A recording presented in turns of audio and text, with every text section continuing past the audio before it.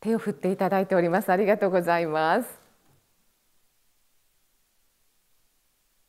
黒木さんは以前にもウルトラマン Z で対怪獣ロボット部隊ストレージの科学担当太田由香役としてご出演をされていらっしゃったんですが、はい、初めてこのウルトラマンシリーズへのご出演が決まった時ってどんなお気持ちだったんですか？初め天才科学者っていうふうに聞いてあれ？みたいな。私天才科学者できるかなっていうのはあったんですよ。で台本拝見した時も結構難しい言葉がたくさん並んでたのでこれは多分これからすごい大変なことになりそうだとか思ったんですけど思った以上にスラスラとセリフも覚えられるようになってこうあのウルトラマン Z のみんなでこう頑張ってこう楽しい作品を作り上げることができました。は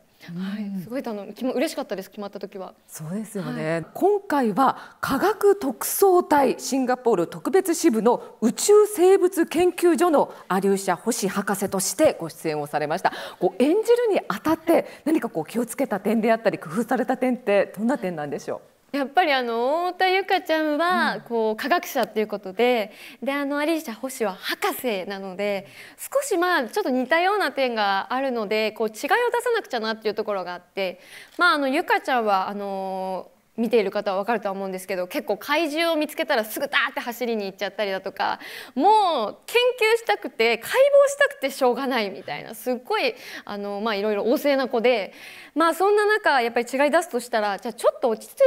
大人をちょっとアリーシャ星博士で演じてみようかなっていうところで、まあ、そういった違いを出すように気をつけましたね。あとやっぱりあの見た目ですけどちょっと見た目も変えようかなって思ったのであのゆかちゃんの時は一番初め当初の際はあの髪分けてたんですけどあの前髪ちょっと長くなってきてパッツンにして途中からパッツンで演じてたのでアリーシャ星博士はもう思いっきり前髪を分けさせていただいてちょっと大人っぽい雰囲気であのやっていこうっていうふうになりました、はあ、そういったところからももう役作りって始まってるんですね。そうなんです。やっぱりあの自分自身もこう切り替えやすいかなと思ったので変えてみました。ちょっとそういう部分もチェックしていただけたら嬉しいです、はい、お願いしますさあウルトラマンシンガポールの新たな力ではこうウルトラマンのピンチを救うためにマーライオンの化身でありますシンガポールの守護神マーライガーが初めて登場いたしました。黒木さん初めてマーライガーにこう出会った時ご覧になった時どんな印象を持たれました？あの水中の中で目がピカッと開くじゃないですか、はいはい、あの瞬間あれ？めっちゃ可愛いみたいな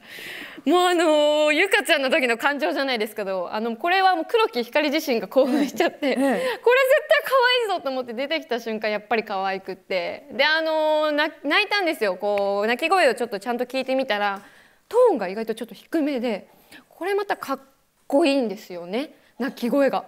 なんでまあそのギャップじゃないですけど、そこにまたやられましたね。ちょっと燃えちゃいました。あかっこいい可愛いみたいな、うんうん、それがすごい嬉しかったですね。可愛いそのマーライガーの声をちょっとご用意してますので、はい、ちょっと皆さん改めて聞いていただきましょう。お願いします。お願いします。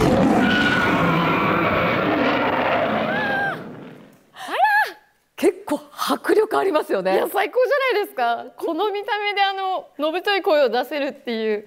いややっぱり興奮しちゃいますねそのあたりは。ただまあだからあの一番私の好きなシーンはあのお辞儀をウルトラマンと一緒にこう、うんってやるんですけどその時たまらなく可愛くてあのもしよかったらマーライガーのグッズを、はい、作ってほしいなってちょっとあのお願いします。はい